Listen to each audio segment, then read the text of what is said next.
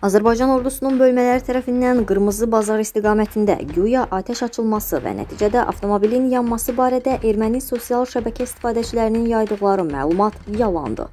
Bu barədə Müdafiə Nazirliyindən məlumat verilib. Məlumata görə bölmələrimiz tərəfindən qeyd olunan istiqamətdə atəş açılmayıb. Azərbaycan ordusu mülki əhalini və obyektləri atəşə tutmayıb. Hazırda bu istiqamətdə sakitlikdir. Qarşı tərəfin bu kimi növbəti təxribat xarakterli məlumatının heç bir real əsası yoxdur deyə Müdafiə Nazirliyindən bildirilib.